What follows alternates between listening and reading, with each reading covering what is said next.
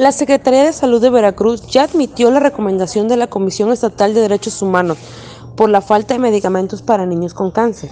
La queja proviene de un grupo de padres de familia. Sin embargo, la resolución aplica de forma general a todos los afectados, de los que en todos lo incluyen la queja es la falta de quimioterapia. Namiko Matsuko, titular del organismo, dijo que recientemente la dependencia aceptó el documento que se emitió a causa del desabasto de claves oncológicas. El procedimiento ahora será una observación para verificar que se cumplirán el derecho a la salud de los niños que llevan varios meses suspendidos. Cabe destacar que desde el miércoles pasado madres de pequeños enfermos se encuentran en un plantón indefinido a las afueras del Hospital Regional de Alta Especialidad de Veracruz porque el gobierno no ha alzado la cara en torno a esta situación. Informó para Radio Bemba Veracruz, Itzayana Flores.